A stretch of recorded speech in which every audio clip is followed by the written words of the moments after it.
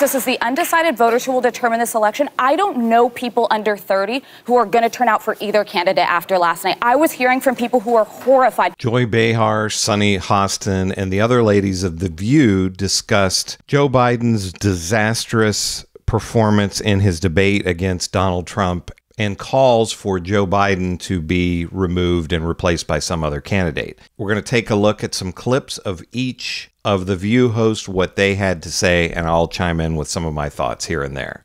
So some strategists and columnists and some people at this table are calling for Biden to be replaced on the ticket, but others are coming to Joe's defense. Watch.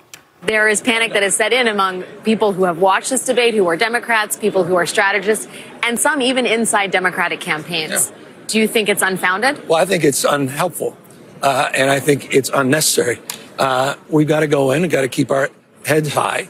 And as I say, we've got to have the back of this president. You don't turn your back because of one performance. What kind of party does that? There was a slow start, but it was a strong finish. And what became very clear through the course of the night is that Joe Biden is fighting on behalf of the American people. He was a very different person on the stage four years ago when, when you debated him. You must, I mean, that that's certainly true, is it not? I'm not going to spend all night with you talking about the last 90 minutes. Well, when I've been the, watching the last three and a half years of performance. Okay. So uh, let me ask you is it even possible to replace Biden at this stage of the game? And have Republicans considered replacing their candidate, as Sunny pointed out, with someone who isn't a twice impeached serial liar and a convicted felon? well, clearly. So, two points that I want to make about this real quick. I think Joy Behar does have a good point here that it could be too late to make a replacement for Joe Biden at this time. The Democrats should have done this a year or two ago. Everybody knew that Joe Biden was too old. There was a poll done in February showing that 80% of voters across all spectrums said that Joe Biden was too old to be president. What about Donald Trump? Well, that's not the discussion that people are having. After that debate, Donald Trump seemed much younger. So the real discussion here is do they replace Joe Biden and who do they replace him with? Clearly, the Republicans have not, right? Yeah. As Ana just mentioned, yeah. they're, they're not going to do. They're going to fall in line, unlike the Democrats. Um, I liked what I saw from Kamala. I liked what I saw from Gavin. She said he had a slow start but a strong finish. But I've been watching him for three and a half years, and I know what he can do. With Kamala, uh, the vice president, excuse me, uh, by his side, that gives me great comfort. Uh, with Gavin Newsom, as a potential successor, that gives me great comfort.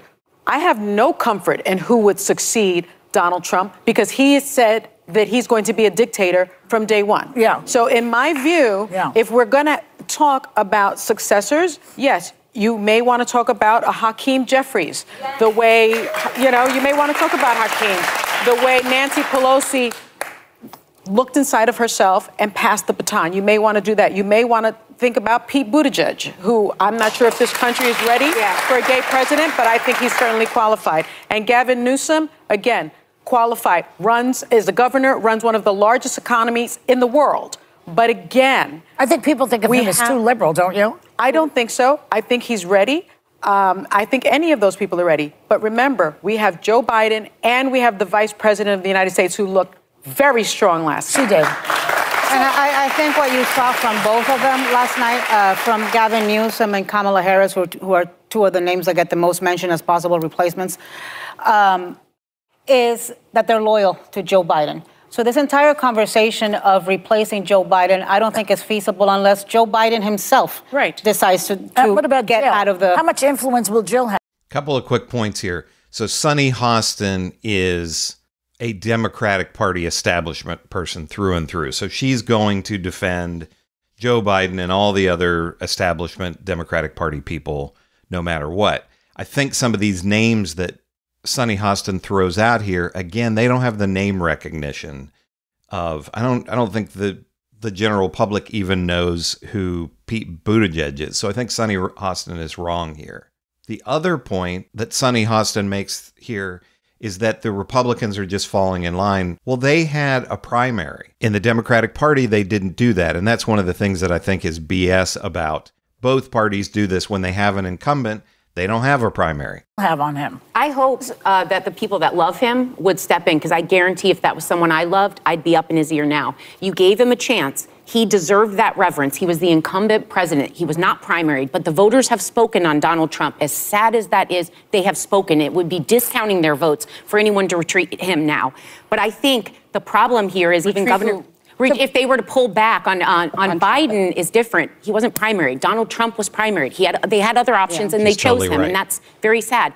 What you said, Sunny, about the reason you'd vote for him, like I know three and a half years, that's what all of us who would vote for him would say. The problem here are those people that are wavering, that are dissatisfied, that are unhappy. Don't say, don't look at that debate. No, that's not, it, that is not helpful. And Well, at this point, at if the the. Democratic voice pieces do not pivot, but it's, they will look at it, lose. look at in- And Sara Haines is right here.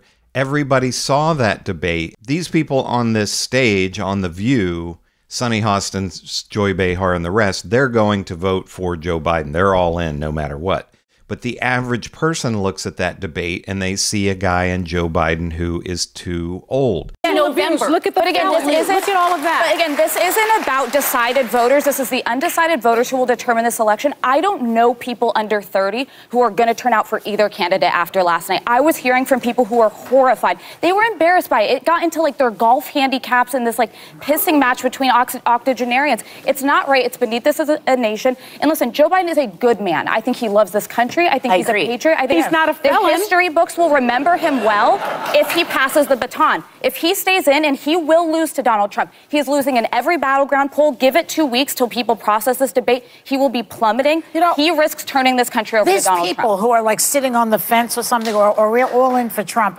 I'm fascinated by that. You know, it's almost like you know, you know when you're a, a woman and you're dating, so you have a really nice guy who takes your. Take, holds your pocketbook while you're shopping, Yeah. you know, or, or like really treats you well, and you you're bored with him. And you got this dude other on the one motorcycle. who's a convicted felon on a motorcycle. You're hot for him. Yeah. he's the guy. Yeah. You know, that's where And who at. grabs you by the make- hoo-ha without That- your consent. Exactly. What a stupid analogy by Joy Behar. Dating is nothing like voting for a president. Theoretically, people are going to vote for the person whose policies they believe are going to be the best for them and the best for the country. So, yes, Joy Behar, would it be great to have a nice guy as president and somebody with good policies? Yes, but let's face it, a lot of times politicians are not nice or even good people. You know, none of us have to live with these people. We just want them to do the things that we believe are going to make the country better. So this is an idiotic statement by Joy Behar. But Joy Behar, Sunny Hostin, and the rest, they are Democratic Party establishment people. So they are going to toe the Democratic Party establishment line no matter what. Joy Behar Sunny Hostin, the rest of the View hosts are wrong once again. But what do you think? Who do you agree with here? Do you think Joy Behar, Sunny Hostin, the other View, the other women on the View, do they know what they're talking about? Are they completely wrong in this situation about Joe Biden? And that's the real topic here that everybody is talking about. Is Joe Biden fit to run again? But let me know what you think about the View, Joy Behar, anything else you want to talk about, leave me a comment, a like, and subscribe so I can grow the channel. And I'll see you in the next video.